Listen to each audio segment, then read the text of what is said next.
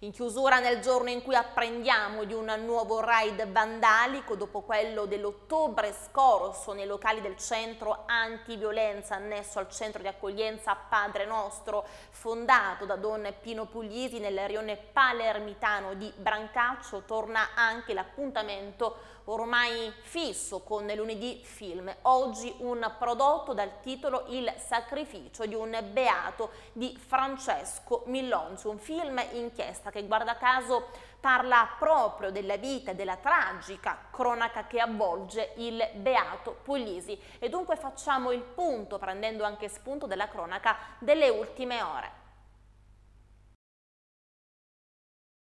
Il sacrificio di un beato del regista Francesco Millonzi, un prodotto filmico che torna puntuale questo lunedì 10 gennaio, incentrato sulla vita e la cronaca dell'uccisione del beato Giuseppe Puglisi, nel film ci sono le testimonianze di persone che hanno vissuto a stretto contatto con il beato, compreso l'esclusiva intervista fatta ai fratelli Puglisi, tra cui l'intervista toccante al fratello Gaetano, oggi defunto, la testimonianza dell'arcivescovo di Palermo, Monsignor Corrado Lorefice, e con la ricostruzione cinematografica fatta con le persone che lo hanno soccorso nei momenti di agonia al momento della sua uccisione.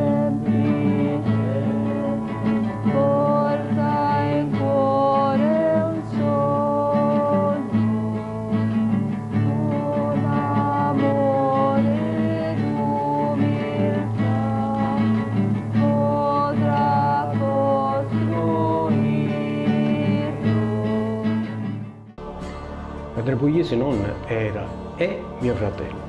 Mio fratello, che? Ha perdonato gli autori del delitto? Ho rinunciato alla vendetta. Se questo vuol dire perdonare, allora ho perdonato. Questa pellicola, che sta riscuotendo molto successo, sta attraversando l'intera Sicilia avendo un riscontro notevole da parte di tutto il pubblico. La visione di questo film è stata anche introdotta dal centro Padre Nostro, fondato dal Beato Pino Puglisi, durante momenti che ricordano il Beato. Ma torniamo alla cronaca odierna. Nuovo raid vandalico nei locali del centro antiviolenza annesso al centro accoglienza Padre Nostro, fondato proprio da Don Pino Puglisi, nel rione palermitano, forse fra i più noti, quello di Brancaccio. È stato infatti sfondato con un masso il vetro della porta secondaria che si affaccia in un piccolo cortile dove, ormai da anni, viene allestito il presepe il presidente del centro di accoglienza, Maurizio Artale, ha denunciato l'accaduto alle forze dell'ordine, che sono intervenute anche con l'ausilio della polizia scientifica.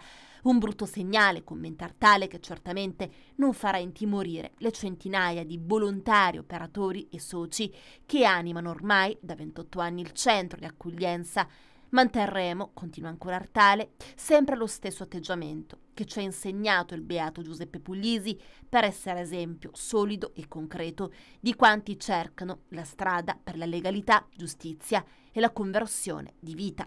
Mafiosi e delinquenti comuni sanno che il centro antiviolenza di Palermo, fondato dal Beato Puglisi, è punto di riferimento e simbolo di legalità in un quartiere con mille problemi come quello di Brancaccio, ma dovrebbero sapere anche che gli operatori volontari del centro, assieme a tutti i cittadini che usufruiscono dei suoi servizi, non si fanno intimidire da atti vandalici. È la conferma di quanto questo presidio di generosa assistenza alla comunità dia fastidio a chi vorrebbe continuare a vivere nella illegalità.